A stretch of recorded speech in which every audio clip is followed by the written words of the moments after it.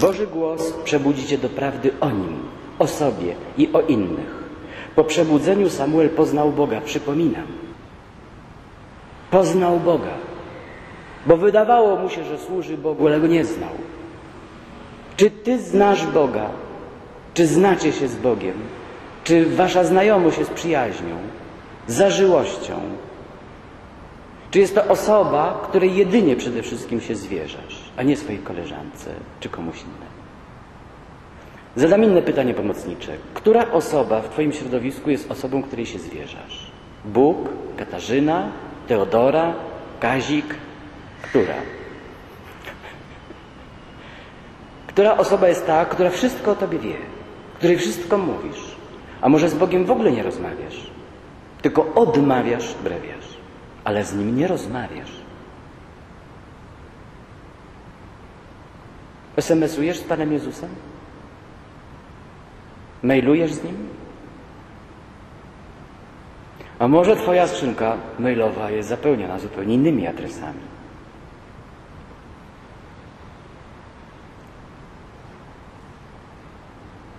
Relacje Samuela z Helim przestały być fałszywe, powiedziałem. To są wiersze 12-14. Przestał go idealizować. Przestał być Heli dla niego idolem, guru. Ale powiedział mu prawdę, ale nie wzgardził nim. To jest uzdrawiająca relacja. Wreszcie Samuel odkrywa, kim jest. Jeszcze raz to powtarzam. Odkrył swoje powołanie, wiersz 20. Moje pytania. Czy potrafiłabyś na tym etapie życia zakonnego, na którym teraz jesteś, zobaczyć, że to, co myślisz o Bogu, jest tylko Twoim wyobrażeniem o Nim? Czy potrafisz się domyśleć, że tak naprawdę Bóg jest kimś innym niż to, co o Nim myślisz? Czy nie potrafisz takiej, tak szeroko otworzyć oczu?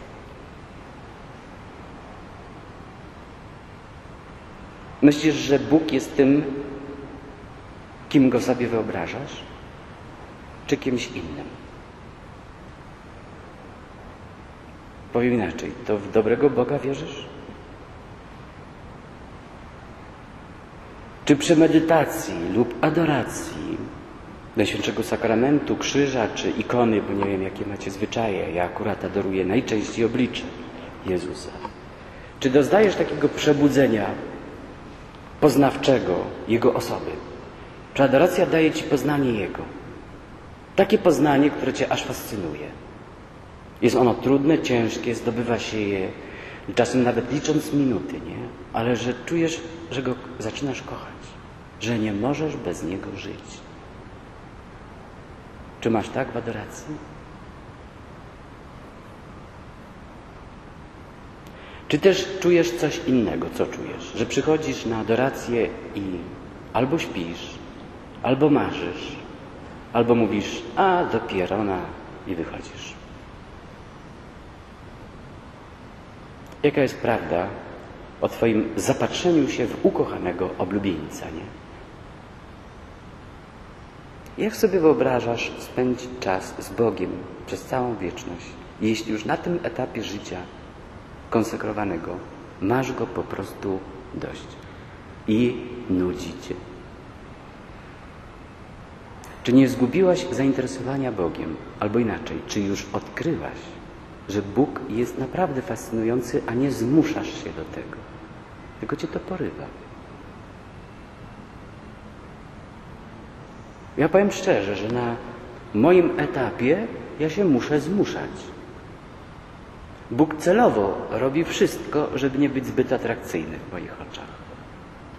Kiedy siadam przy adoracji oblicza Jezusa, to naprawdę tak jest, że walczę o każdą minutę, żeby przy Nim wytrwać. Wiem dlaczego tak jest, bo Bóg mi to pokazał. Bo był taki czas w moim życiu zakonnym, kiedy wiele godzin traciłem przy telewizji. Ja nie umiem, ja mam trudności z odbieraniem rzeczywistości duchowej. Ja łatwiej zmysłowe rzeczy jakieś. Nie wiem, wszystko mi jedno, co nie? Tylko żeby się coś działo i kolor był.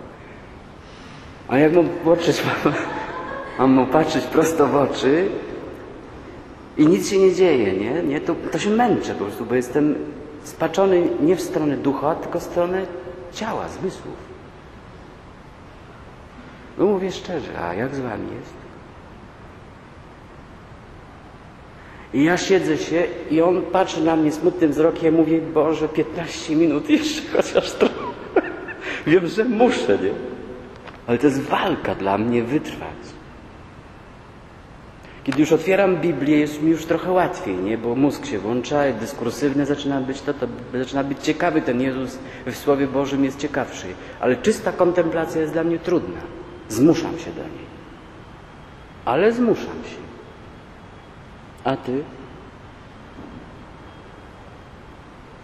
A więc czy przy medytacji, czy przy adoracji doznajesz przebudzenia poznawczego Jego osoby, dostrzegając Jego miłosierdzie na przykład, dostrzegając cierpliwość Jego, Jego mądrość, Jego piękno, Jego potęgę? Czy towarzyszy Ci to przy medytacji, przy adoracji, czy nic Ci już nie towarzyszy? Albo jeszcze Ci nic nie towarzyszy? W jakim momencie jesteś? Czy przychodzi Ci czasem na myśl, że nic, że nie znasz Go tak naprawdę?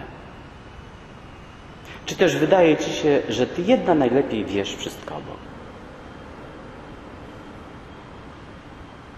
Czy rozmawiasz w ogóle z Bogiem? Jaki jest Bóg, którego znasz? Czy słyszysz Boga? Nie chodzi mi o jakieś wyegzaltowane słyszenie głosów, nie? Tylko, że przy czytaniu, przy medytacji, w, w swoich sumieniu słyszysz Boga. Czujesz, czego On oczekuje od Ciebie. Rozumiesz Go. Jest między Wami jakieś porozumienie, także otwierasz Biblię albo nawet zastanawiasz się nad swoimi grzechami i wiesz, co jest Mu miłe, co nie. Czujesz to wyraźnie bo jesteście tak blisko siebie, że On bez problemu może Ci dać do zrozumienia, o co Mu chodzi. Inny zestaw pytań dotyczący in, relacji z innymi ludźmi. Czy właściwie postrzegasz innych ludzi? Czy nie byłoby coś tutaj do wykorektowania? Czy niezbyt często zdarzają Ci się krytyki, odmowy, ploty? Czy nie niepokoi Cię to, że nieustannie krytykujesz na przykład? Albo że postrzegając drugą osobę widzisz tylko same wady i tylko cię inni denerwują i tylko cię inni załamują, że nic dobrego nie widzisz. O czym by świadczył taki sygnał? Albo drugi sygnał, że postrzegając inne osoby tylko się uzależniasz, tylko się fascynujesz, tylko uwielbiasz i zmieniasz swoich guru jak rękawiczki, nie? To w jednej osobie jesteś zafascynowana, za miesiąc w drugiej, tu uzależniona, tam biegniesz, tu zakochana. I widzisz ich jak bogów, jak boginie. Wszyscy są wspaniali.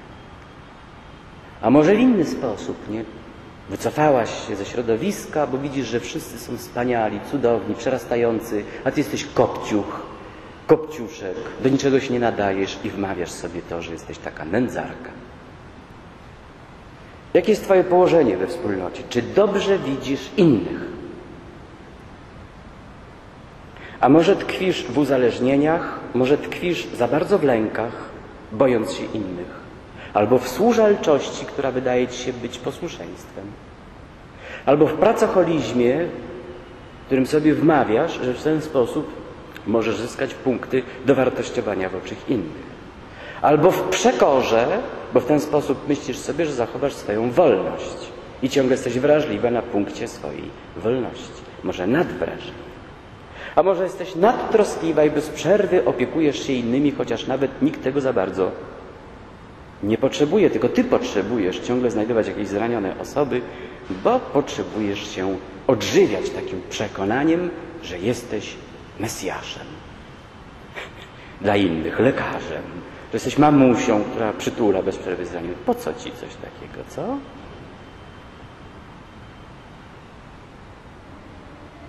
A może w osądach nieustannych, a może w pochlebstwach bez przerwy się podlizujesz. A może w, w przedłużeniu dzieciństwa, w, narcyz, w narcyzmie, że chcesz cia, cały czas być tą córunią noszoną na kolanach, głaskaną, zauważaną, kochaną. I zrobiłabyś wszystko, żeby zrobić karierę w tym zakonie i żeby być podziwianą, całowaną, głaskaną. Jest ci wszystko jedno, prawda czy kłamstwo. Najważniejsze, żeby taki odbiór był Twojej osoby. A może Twoje odniesienia do innych osób są pełne uprzedzeń albo nieprzebaczenia. Gnębi Cię to, że nieustannie jesteś nadwrażliwa w temacie nieprzebaczenia. A może w fałszywym usprawiedliwianiu siebie lub innych, może w iluzji nadtrosliwości, w zauroczeniach, w izolacji, w zatracaniu siebie w innych, albo w unikaniu ludzi, albo może w symbiozie jesteś częścią czyjejś osoby, ale nie jesteś sobą.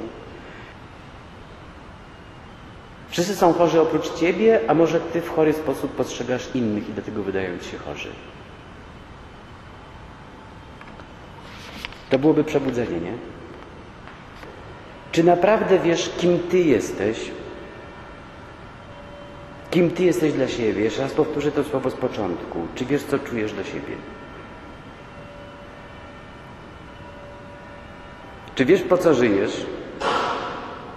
Po co tu jesteś w zakonie? Po co jesteś w tym sanktuarium? Po co jesteś tu, Samuelu?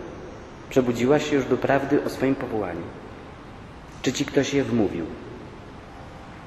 Albo w ogóle nigdy nie myślałaś o tym i nie wiesz, dlaczego tu jesteś. Zdarza mi się to nawet, zdarzało mi się to co roku, bo jestem wychowawcą, nie? że ktoś przychodzi do mnie nawet dzień przed ślubami wieczystymi i mówi o, po tych sześciu latach widzę wyraźnie, że to nie moje powołanie.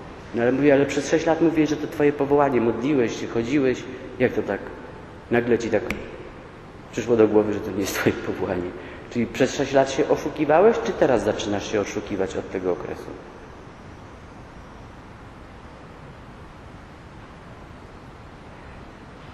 Czy wiesz, co oznacza Twoje powołanie?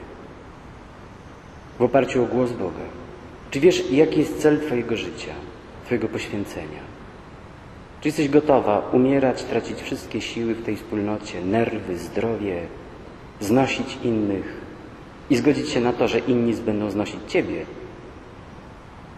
bo Ty też jesteś niezłe ziółko. Czy zgadzasz się na to, że inni też będą Cię znosić? Jeśli nie potrafisz wyraźnie i zdecydowanie odpowiedzieć na te pytania, które ja Ci tu podpowiedziałem, to tkwisz we śnie, czyli jesteś w iluzji. Jeszcze się nie obudziłaś. Ale jeśli masz wyraźne odpowiedzi i one są pewne, to jest dobrze. To może nie potrzebujesz nawet rekolekcji.